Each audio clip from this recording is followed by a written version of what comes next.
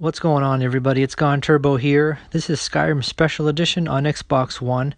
It's the beginning of April 2020, and in this video, I'd like to do a ultimate showcase of Tamriel Reloaded all in one. This is a mod that just came out. It is about 760 megabytes, so it's a pretty big file size, but it covers a tremendous amount of things. And in this video, I wanted to showcase as much as I could capture in video and screenshots of the variety of textures that this mod changes in the game. This is by 32CM and brought to Xbox by Stone Spiral Gaming. Over the last few weeks, Stone Spiral Gaming has brought over to Xbox a lot of different mods um, that uh, change a lot of different things and I just recently highlighted a landscape mod and uh, the stone mod.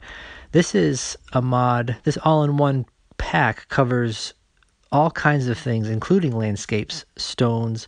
It includes grasses and flowers, and it includes buildings, it includes uh, uh, trees, new trees, textures to trees, um, all kinds of little things that I didn't expect. Uh, but what is interesting is that it doesn't cover everything. So there'll be some textures that are really, really nice because they've been touched and they have a nice high resolution, and then other things that haven't been touched.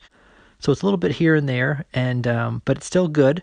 Uh, it was a little heavy on the frame rate in some areas because it is quite lush when it comes to all the grasses and, and the additional flowers.